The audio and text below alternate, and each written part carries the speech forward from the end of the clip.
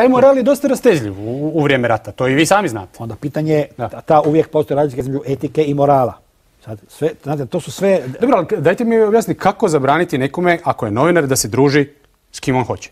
Ja mislim da bi e, redakcije, kad stvar postane javna, Dobro. morale same voditi računa o tome. I da bi to trebalo raditi na jedan diskretan način. Ja sam protiv bilo kakve represije, protiv novinara, zabrana i tako dalje.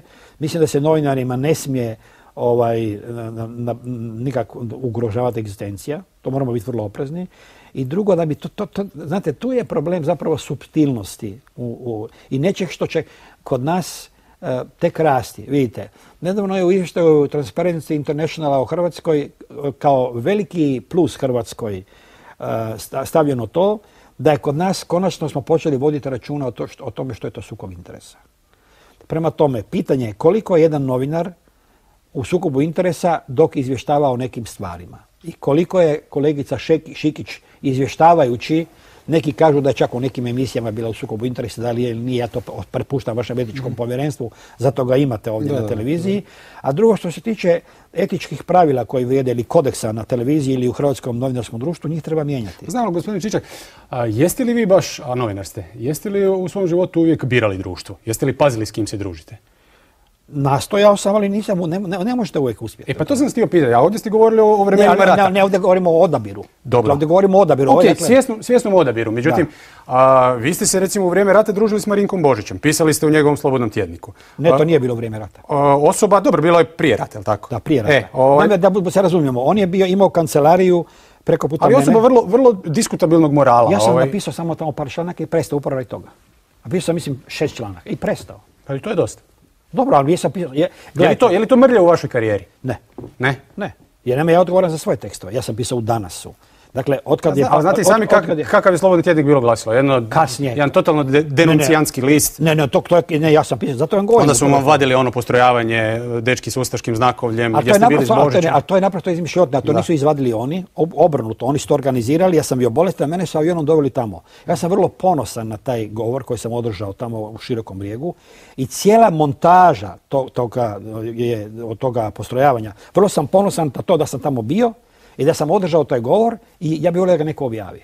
Jedan naš, reći odmah i ko, Nino Pavić, koji je moj poslodavac, mi je rekao, ako zbog ničeg drugoga ne zaslužuje spomenik u Hrvatskoj, onda je taj govor koji se održan u Širokom brijegu. To je antiratni govor koji je objavljen sa naslovom Naše oružje, ljubav i praštanje. Ja sam bio u bijeloj košulji, a ti dečki su bili u potkošuljama. Crnim. Pa molim vas, kaj to, to su ustaše. Tamo nije bilo nikakvog ustaškog znakovlja. To je naprosto izmišljeno tada. Ja sam u to vrijeme bio i predsjednik HSS-a jer je tad Tuđman vodio protiv mene žestoku kampanju. Kasnije je, opet sad ne smijem imenovati tko iz ove kuće koji je tad bio urednik Danasa, to naprosto falsificirao i montirao i objavio je. Dakle, to je bilo u ljetu kad sam ja govorio. Ja sam bio u košulji bijeloj, kratkih rukava i hlačama. Fotografije postoje. Objavljena je montaža moje, ja u nekoj bundi e, sa rukavicama i sa crnom kapom. Kapa je bila zelena, dobio sam je na poklon od brigade Braća Radić. I ovaj, ona je potamljena, a to je fotografija snimljena na konvoju Libertas. Dakle, da bude apsurdnija još stvar. Dakle, jedna fotografija, Dobro, ali sam Marinko Božić kod kog ste radili je bio... nisam ja radio kod njega. Pa pisali ste tekstove za njega. Na, ne, napisao je ne- platio? Da, platio šest tekstova. onda ste radili za njega? Ne, čekajte, pa ja ne, ne, ne doživljavam tako da radim za nekoga ako piše za neki list. Za koga sam ja radio ako sam pisao u Danasu? Pa pretpostavljam za danas, ja ne znam sad ko je bio gazda. Dakle, onda sam radio za. ST, a ne za... Da, tad je bio Mladen Maloče, ali nisam radio za Mladena Maloče, Mladen Maloče nije bio vlasnik tog lista. Ne, Dobro, ali zna se kak, kak, sad kad pričamo o Božiću, ne kak- gledajte, lako je sad... kakav je on utjecaj imao i... Ne, ne, gledajte, lako je sad biti pametan kad je se sve što se dogodilo kasnije. Moguće, Da. moguće, ali možda Prema bi bilo baš ono- korektno da kažete da ste ipak radili u jednim novinama i da baš niste ponosni na to. To je u onom ne, ja kontekstu sam- da, ja sam- da ne, biramo baš uvijek društvo. Ne, ne, ja sam ponosan na svoje tekstove koje sam tamo objavio. I konačno zbog toga sam objavio, poslao jedan tekst koji nije on htio A znam, ali objaviti. zamjerali ste Ljubi Jurčiću što daje intervju za Hrvatski list, zato jer je Hrvatski list takav kakav je. Čekajte, A on je oprostite, dao isto intervju, oprostite, ja sam pročitao taj intervju, nema se Ljubo Jurčić čega Ne, sramiti. ne, ne, ja sam njemu nap- napisao da mu zamjeram što mu je u impresumu bio. Njegovo ime. je bilo. Ne, ne, zamjerili ste što je dao intervju. Ne, ne, to isto. Ne? Mislim, to je novine, šta, mislim, to je talog taloga Ali, ali nije ništa, pravo, taj oprostite- Hrvatski list nije sigurno ništa gore od Slobodnog tjednika. Je. Apsolutno. pro- Oprostite, ali ja, ja molim vas, da li sam ja ustao u obranu Marijačića kad je bio optužen, osumnjičen od Haškog suda? Jesam. Da. Dok su kolega u mojoj novinarskoj organizaciji drugačije reagirali, ja sam mislio da on ima apsolutno pravo pisati što hoće. I neka taj, dao mu Bog zdravlja i neka ta njegova novina izlazi i dalje. Jer ako vi zabranite određeni segment političke scene, vi ćete te ljude gurati u ekstremizam. A ekstremizam nikad nije dobar. Prema tome neka on samo piše šta god hoće, ja to ne čitam. Ali ćete osuđivati ljude koji im daju intervjue? Ne, ne, ne, ne, ne osuđujem ja njega.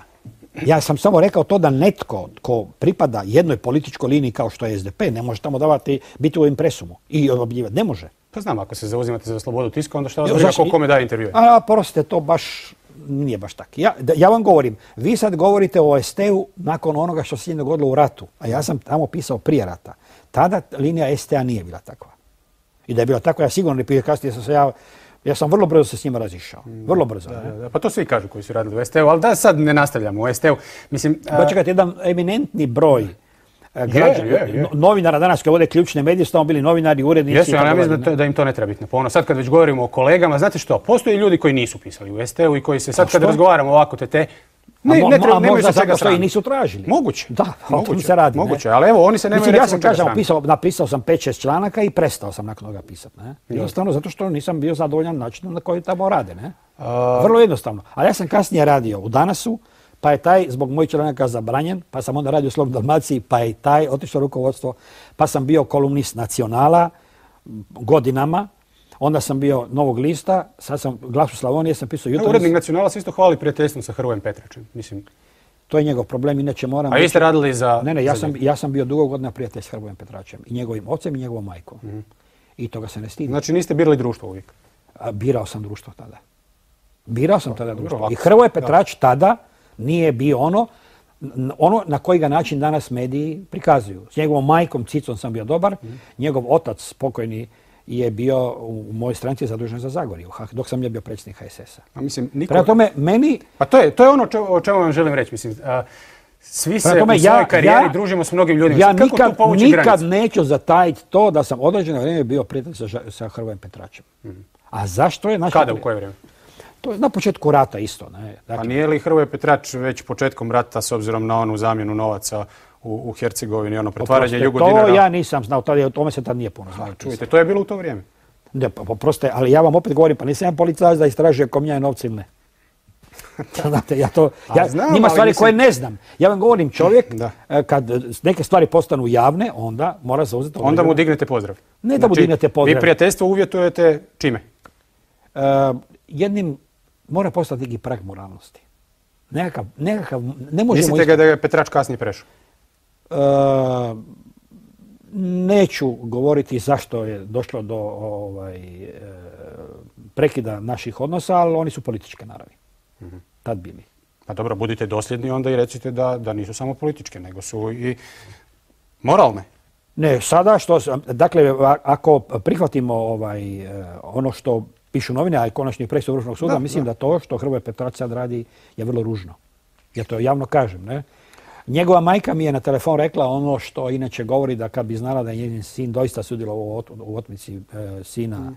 e, kako se zove ovoga, Zagorca. da bi sama ubila i njega i na svojim rukama. To je i meni rekla na telefonu i to je konačno rekla u medijima. Ne? Kako riješiti, kako riješiti, ajde da, da, pokušamo zaokružiti uh, ovu temu, kako onda riješiti neki, s obzirom na sve ove kalambure i, i osobne i načelne, kako riješiti ovaj sukob interesa u, ja ću vam reći primjer. Ja sam bio vrlo dobar sa Žarkom Puhovskim. Zašto sam s njim prekinuo? Svi nagađaju zbog čega. Ne? Kad je Žarko Puhovski izjavio, i to su novine prenijeli, da mu je moralno i intelektualno bliži Koštunica od uh, Dražena Budiše, u sva neslaganja koja ja imam sa Draženom Budišem odavno, uh oprostite, to je bila crta ispod koje se ne može ići. Ne može ići.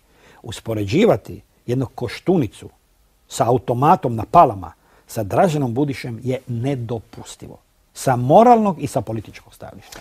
Po mene. I to je dovoljan razlog da ja sam napisao članak, na to je meni Puhovski odgovorio, onda sam ja njemu odgovorio i onda je ta polemika trajala i prestala. Ovaj, ja smatram da su neke stvari naprosto nedopustive.